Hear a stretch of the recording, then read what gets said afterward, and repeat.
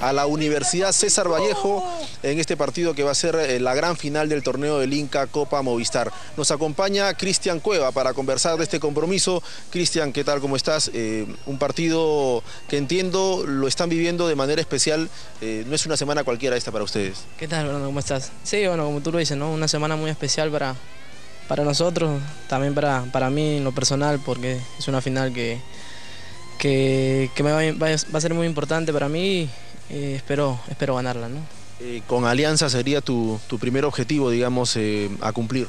Sí, es, es el objetivo como a, corto plazo, ¿no? Que, ya estamos ya en una final, lo cual eh, tenemos que salir con la mentalidad de, que, venimos haciendo cada partido, ¿no? de ganarlo, de, de que Alianza tiene que campeonar ya de una vez, eso lo tenemos claro, así que ojalá las cosas el día domingo salgan de la mejor manera. Pues. Te toca dejar en el camino coincidentemente eh, a tus ex equipos, ¿no?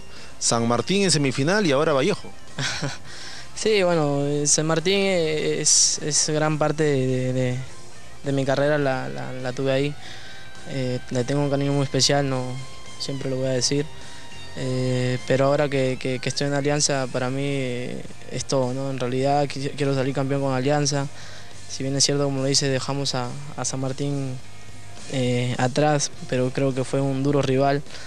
Para mí creo que viene haciendo las cosas muy bien, juega muy bien al fútbol y lo importante es que se ganó, ahora estamos en la final y, nuevamente hacer lo mismo, ¿no? tratar de ganarla. ¿Qué tanto sabes de Vallejo? No, igual se sabe mucho porque tiene jugadores que pasaron por acá, ¿no? Eh, yo creo que, tienen jugadores de mucha experiencia, que manejan muy bien la pelota, como Ronaldo, como Miñán. Creo que Ronald también viene haciendo un buen trabajo, ¿no? Quinteros creo que, que bueno, lo tuve también en San Martín, compartí vestuario con él, lo conozco muy bien, pero pero bueno, lo importante acá es que, las cosas las hagamos nosotros cada vez mejor y así creo que vamos a, tener el triunfo. ¿no? Cuando hablamos de, Vallejo, uno eh, tiene la sensación de que se trata de un equipo al estilo de Franco Navarro, ¿no? Eh, equipos eh, digamos que meten mucho, que no dan una pelota por perdida, que aprovechan mucho el juego aéreo. ¿Cuánto ustedes están teniendo en cuenta todas esas cosas que tiene Vallejo para enfrentar esta final? Bueno, sí, es verdad que, que tienen buen, buen, buen juego aéreo. Pero más allá de esto, creo que, Franco también le gusta jugar, ¿no? Yo le tuve, lo tuve en San Martín, hay momentos en que siempre pido jugar, ¿no? Lo, más importante es jugar, después las facetas que pueda tener el fútbol ya son parte de. Eh, nosotros estamos, sabemos que, que tienen un juego aéreo, pues no conozco a, Cardosa, que es creo para mí uno de los mejores cabeceadores que tienen ellos. Eh, pero más allá de eso hay que, hay que hacer el trabajo nosotros, nosotros mejor que, que ellos y así, así creo que vamos a, lograr lo que queremos.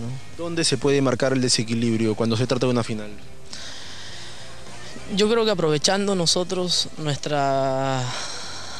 Yo creo que arriba, siendo más verticales, creo que, podemos marcar más diferencia que ellos, ¿no? porque tenemos jugadores rápidos, tenemos jugadores con buen pie y, ser bueno, fuertes en defensa, ¿no? como, como, como tiene que ser pero creo que el punto donde podemos marcar diferencias es arriba, ¿no? con, los jugadores rápidos que tenemos como Jan, como Julio, como Preciado, como Noroña, como Mauro, que, también le aporta mucho. ¿no?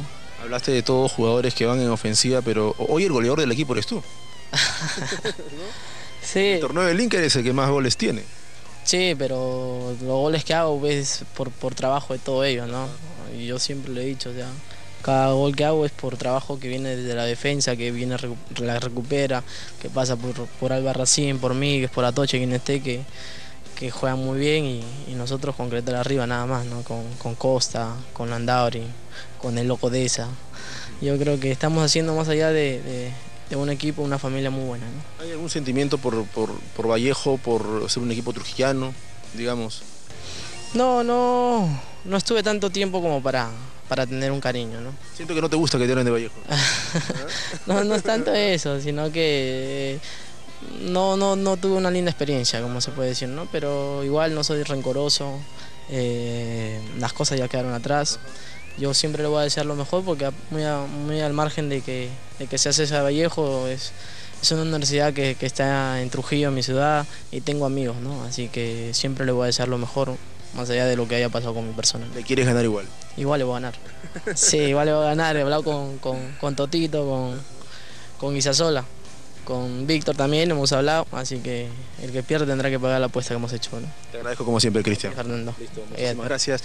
Cristian Cueva, uno de los últimos jugadores ya en, salir de, lo que es el entrenamiento de Alianza Lima. Alianza Lima eh, hasta luego, Cristian. Eh, Alianza Lima hoy ha trabajado por la mañana, eh, prácticamente intentando ya definir el equipo que va a enfrentar a la Universidad César Vallejo el próximo domingo a las 6 de la tarde en el Estadio Nacional.